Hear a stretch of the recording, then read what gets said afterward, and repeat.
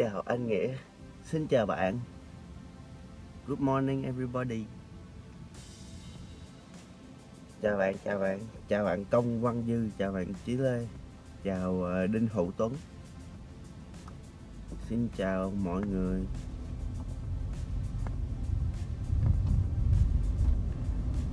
Hello anh, hello bạn. Hello, hello. Hello mọi người. Mọi người có khỏe không?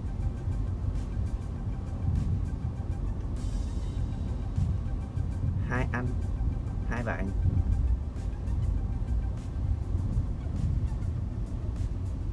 Cái gì ghê vậy? Chào anh Vũ Trọng Nghĩa Nói họ tên tôi luôn Chào bạn Chào bạn Lĩnh Thiện Đi đâu thế anh? Tập thể dục bạn ơi ừ. Ừ.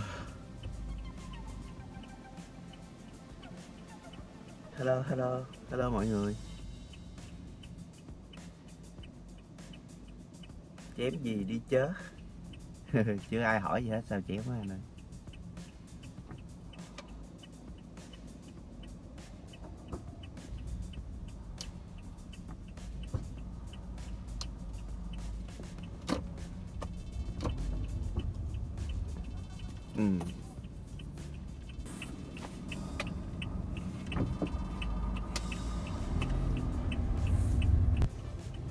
sớm ra mà nhện nhện nó đi đầy đường, mệt quá. Giờ anh đang đi chim hả anh, đúng không các bạn? Em vừa lấy ờ, Canon 700D mà không biết cách khóa nét sao anh ơi. Mình có làm video về lấy nét rồi các bạn. Bạn ờ, bạn phải chỉnh qua chế độ khác hơn là chế độ tự động. Chế độ ưu tiên khẩu độ hoặc là chế độ M hoặc là cái gì đó, ưu tiên tốc độ xong rồi bạn à, bấm cái nút ngoài cùng ở bên phía bên cái ngón cái này cái nút nhỏ nhỏ trên cái góc uh, phải ở bên trên của cái máy chụp hình đó. Thì bạn thấy mấy cái nút à, màu đỏ nó hiện lên xong rồi bạn muốn khóa nét ở đâu thì khóa cho đó thôi. Sài Gòn mưa quá. Ồ. Chào anh Nghĩa. Anh đánh giá sao về Sony A7 với lại Canon 60 6D Mục đích của em là chụp ảnh ít quay. Nói về chụp ảnh hay là quay phim gì thì A7 nó cũng hơn đó các bạn. A7 nó hơn 6D nhiều Cai Nguyễn bên anh nắng đẹp mà bên này mưa. Ngày nay đi chụp hình mưa ướt lo cho mấy cái len quá. Len gì bạn?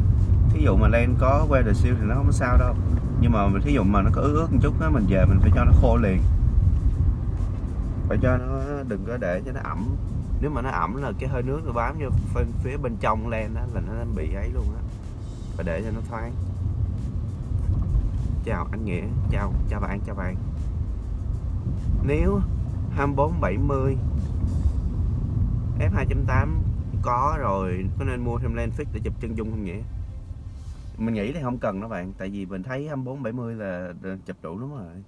Đâu có cái lens fix nào mà chụp đẹp hơn. 2.8 là quá ok rồi. Em đang có 700D còn với kit bây giờ nó mua thêm 50 hay là Sigma không anh? Mua thêm cái 50 đi bạn. Mua thêm cái 50 chụp chân dung nó đẹp. Còn khi nào đi đâu thì gắn cái kit vô. Chứ uh, mua thêm cái uh, chứ bạn mua thêm cái Sigma nữa là coi như cái kit của bạn phế.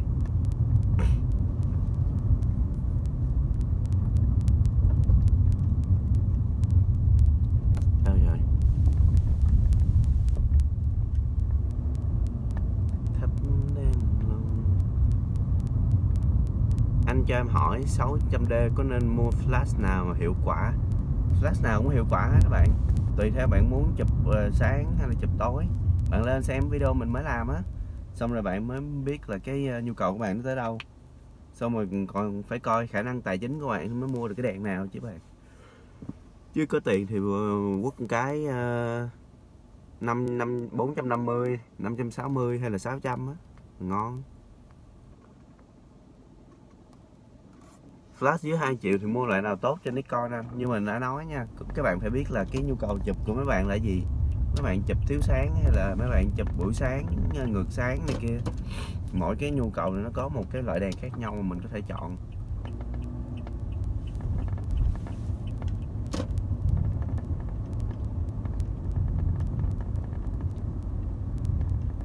người yêu của ta ơi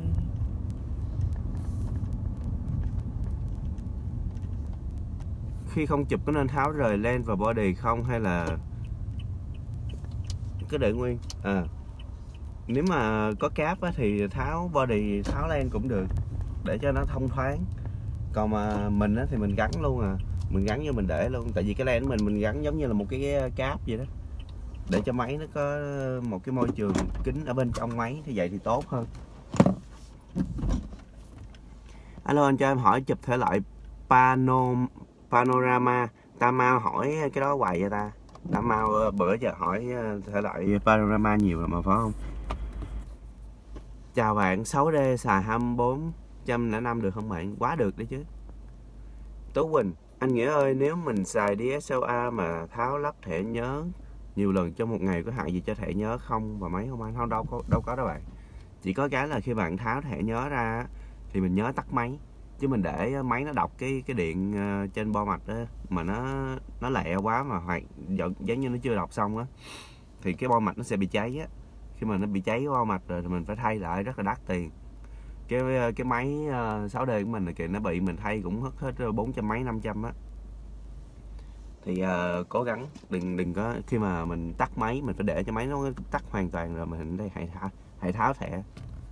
Gắn thẻ vô cũng vậy chất lượng ảnh của máy không gương lực đạt được bao nhiêu phần trăm so với máy DSLR không có thể nào so sánh được đâu bạn. À, chất lượng hình ảnh thì bây giờ mình thấy thiệt thiệt sự thì nó cũng ngang ngang với nhau à. Nếu mà là máy full frame thì uh, không gương lực nó nhiều khi còn đẹp hơn đó chứ. Mà mình phải biết là mình uh, cái người đứng đằng sau cái máy chụp ảnh mới là cái cái quan trọng. Còn cái máy ảnh gì đâu quan trọng. Còn cái vấn đề mà hình ra thế nào đẹp hoặc là chất ảnh nó khác nhau á, thì mỗi người mỗi khác bởi vậy người ta mới làm ra một cái máy ờ, không gương lực với một cái máy có gương lực. Nó phục vụ cho hai cái nhu cầu khác nhau của từng cái người sử dụng. Giống như giờ một người thích màu xanh một người thích màu đỏ một người thích màu trắng người thích màu đen bạn đâu có bắt người ta phải thích giống mình được. Mỗi người người ta có một cái sở thích như là một cái cái gu khác nhau. Thì uh, máy ảnh nó cũng vậy. Người ta tạo ra cái máy gương lật cho những người người ta thích xài gương lật không gương lật cho những người người ta thích hiện đại còn cái vấn đề chụp ra hình đẹp như thế nào là do cái người cầm cái máy thôi. Người ta muốn, tấm hình của người ta ra làm sao thôi. Mới nông thôn, anh cho em hỏi bắt đầu học hậu kỳ ảnh nên học như thế nào? Anh, em đang nghiên cứu Lightroom. Thì bạn phải nghiên cứu ờ, thì bạn đầu tiên á, thì bạn phải ờ, biết là tất cả những cái thanh công cụ với những cái chức năng của Lightroom nó là như thế nào. Vậy thôi.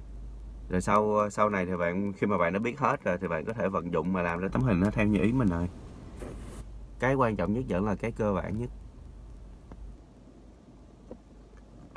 Huỳnh Kim Phú anh cho em hỏi giữa một len một khẩu và len hai khẩu cái nào tiện dụng hơn hả anh? Dĩ nhiên là len khẩu rồi bạn. Cái len mà hai khẩu là lý do là nó không có thể mở ra cái khẩu lớn khi mà nó đạt cái tiêu cự lớn được. Cái len nó làm như vậy khi mà nó ra khẩu nó càng cái tiêu cự nó càng cao á, thì cái này nó càng phải lớn ra thì cái khẩu của nó mới lớn. Cái cái len 50 đi. Mình thí dụ cái len 50 á, cái khẩu của nó như vậy là 1.8 nhưng mà khi mà nó 85 á, thì cái khẩu nó phải là như vậy, thì nó mới bằng 1.8 đó là lý do tại sao những cái len mà nó nhỏ quá thì nó không có cái khả năng cho ra cái khẩu lớn khi mà cái tiêu cự cao. Cho nên những cái len nào mà nó duy trì được một cái khẩu đi hết cái tầm tiêu cự thì nó rất là đắt tiền. Em đang có 700D và kit, bây giờ có nên mua? Ủa, nãy trả lời rồi mà. Mua 50 bạn chứ mua Sigma là dục cái lên kit luôn. Anh chia sẻ cho em ít kinh nghiệm chụp, chụp tiệc với anh chế độ nào tối ưu lên khoảng 10 triệu thì chụp tiệc tốt không ạ? À? mình chụp tiệc thì mình dùng 24 70 nếu mà bạn à, thấy mắc quá thì bạn có thể mua 24 105 còn mà nếu thấy mắc nữa mà bạn phải xài máy gì bạn có xài máy full frame không? Nên là máy full frame nha bạn. Khi mà chụp dịch vụ rồi thì cố gắng nên sử dụng cái máy full frame. À, chụp tiệc thì mình để chế độ ưu tiên khẩu độ. Đó là mình thôi còn bạn thích để chế độ nào là tùy bạn mình để ưu tiên khẩu độ để mình chỉnh được khẩu độ của mình á. Rồi mình cho máy nó tự chọn cái tốc độ nào đó.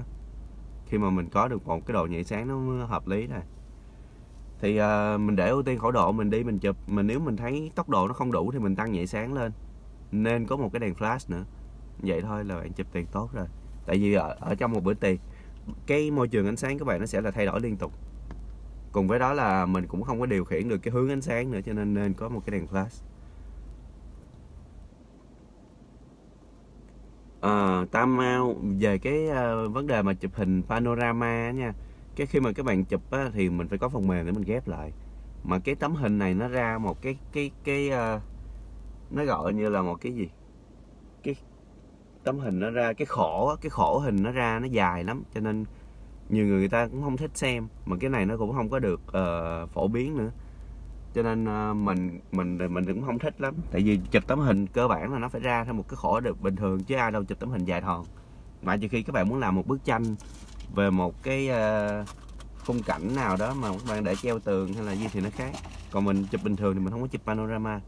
Chụp panorama là bạn có phải có phần mềm để mà ghép hình lại với nhau. Chụp chân dung nên mua CN50 285 luôn. Em ít chụp chụp chơi vui thôi nếu mà bạn chưa có kinh nghiệm nhiều á, thì bạn mua 50 thôi. 85 chụp ra thì hình nó đẹp hơn nhưng mà nó khó để mà sử dụng hơn.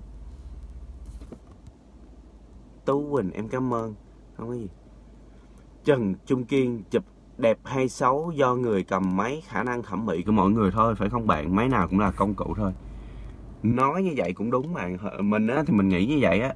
Ờ, thật sự cái máy nó chỉ là cái công cụ thôi cũng giống như là chiếc xe của mình nó cũng chỉ là cái công cụ để mà đưa mình đi lại thôi. Thì chiếc xe xịn á thì bạn vô bạn ngồi à, hay là bạn chạy thì nó thoải mái hơn chút. Giống như bạn chạy SH đi thì bạn thoải mái hơn chút đã hơn chút nhưng mà nó hao xăng hơn chút. Đó. Còn mà thí dụ mình chạy xe bình thường giống xe quay hay xe rim gì đi thì mình phải vô số mình chạy nó chậm hơn. À, với lại nhìn nó bèo hơn. Nhưng mà cái cái chức năng của cái xe là cái gì? Là để đưa một người từ cái điểm A tới cái điểm B. Thì cái xe nào nó cũng đưa được hết á đó. giống như cái máy chụp hình cái chức năng của nó là cái gì? Để là tạo ra một tấm hình đẹp. Thì cái máy nào nó cũng tạo ra được tấm hình đẹp hết á tùy theo cái người mà sử dụng thôi.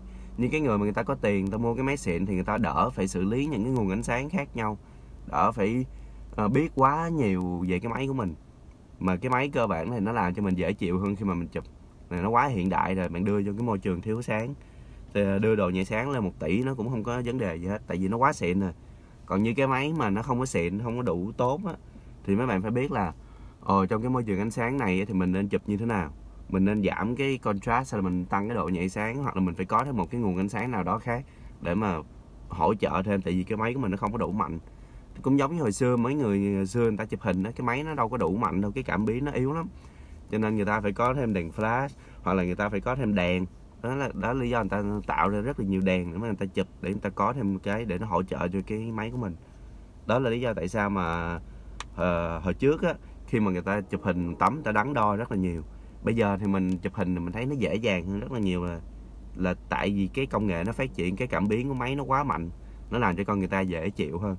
Giống như hồi trước mấy bạn mà đi học cái thời của mình á chỉ thời giờ thì mình không biết. Thời của mình mấy bạn đi học các bạn phải đạp xe thấy mồ luôn đúng không? Giờ giờ thì các bạn có xe điện các bạn đi hoặc là có xe máy các bạn đi nó nó dễ hơn. Thì công nghệ nó phát triển nó làm cho à, tất cả những cái chuyện gì mình làm nó dễ dàng hơn nó tiện hơn thì nó thành ra cái kiến thức của mình nó cũng giảm theo. Còn về cái vấn đề mà à, máy xịn hay máy dởm thì như mình đã có chia sẻ đó đối với mình nó không quan trọng. Nguyễn Văn Đạt em muốn chụp ảnh máy kỹ thuật số giờ em muốn chuyển qua sử dụng máy cơ thì nên mua máy nào tốt cho việc chụp phong cảnh và tập thể lại chân dung? À, à, giá trong tầm 10 triệu. Như mình đã có chia sẻ cho các bạn mua cái máy nào á là nó phụ thuộc vô mấy bạn chứ mình đâu trả lời được. Giờ mình à, bạn muốn hỏi mình một cái máy nào mình đưa cho bạn một cái máy mình nói đại đi thí dụ Canon 700D bây giờ bạn mua xong bạn chụp nó đâu có theo ý bạn đâu. Tại vì những cái đó là chỉ có bạn mới trả lời được thôi. Đó như bạn ờ, giờ bạn để ý cái máy nào bạn hỏi mình cái máy đó có được hay là không thì mình trả lời. Mình cũng chỉ trả lời là được hay là không thôi. Mà mình nói thật sự với mấy bạn giống như nãy giờ mình chia sẻ đó mấy ảnh nào với mình mình cũng thấy là xài được hết. Cho nên mấy bạn hỏi mình mình trả lời lúc nào cũng là được hết á. Còn về cái vấn đề mà sử, dụng như thế nào cái quan trọng á, không phải là mình mua cái máy nào mà là cái kỹ năng của mình nó như thế nào. Mình phải tìm hiểu về cái cách mà mình sử dụng cái cách mà mình tạo ra một bức ảnh nó theo cái ý của mình. Chứ không phải là mình cứ ờ, thấy người ta mua cái máy đó người ta chụp cũng mua máy đó chụp mà không biết là người ta làm sao. Phải là cái kỹ năng của mình mới là quan trọng. Nguyễn Huynh ống kính 10, 18 của Canon nghĩa thấy thế nào? Mình thấy chất liệu ống rất là giống ống kính nghĩa thấy chất liệu nó có đáng mua không? Tốt. Ống này tốt rồi. Ống này mua đa số thì người ta mua cái ống này để quay phim. Nhưng mà mình thấy chất lượng của nó cũng khá là tốt. Dạ em cảm ơn anh nghĩa. Nãy em không nghe à. Không có gì bạn. Cái này ờ, mình xong mình post lên ờ, youtube lại mà. Các bạn nào mà ấy là lên xem. Tháng 9 năm sau đi mù can về chụp ruộng bậc thang nghĩa. Dạ mình cũng thích lắm rồi à, cái lần trước về Việt Nam cũng có lên kế hoạch đi à, đi chụp ruộng bậc thang với ông anh. Mà xong bận quá đi không được, xong rồi bệnh nữa. Thưa lương. Nguyễn Minh Châu không thấy nghĩa chụp, không thấy nghĩa chụp dùng tấm hắt sáng nhỉ? Chụp ngược sáng có dùng tấm hắt sáng không nghĩa? Chụp ngược sáng á, thật sự theo mình thấy thì dùng tấm hắt sáng là tốt nhất. Cái vấn đề mà mình không sử dụng tấm hắt sáng là tại vì bây giờ ai cũng bận hết á. Có một mình mình đi chụp hình à và mình, nếu mà mình vừa hát sáng và vừa chụp thì chắc chắn là không được. Tại vì cái cái hát sáng á, là nó quyết định cái hướng của cái nguồn sáng. Còn cái góc chụp là nó quyết định do mình là mình phải ở hai chỗ khác nhau. Còn nếu mà thì thì thì nếu mà mình muốn sử dụng tấm hát sáng thì mình phải có thêm người nữa đi cầm tấm hát sáng cho mình. Cho nên mình làm không được. Mình bây giờ mình chụp ngược sáng thì mình chỉ sử dụng đèn flash thôi tại vì nó là mình có thể điều chỉnh được cái hướng sáng.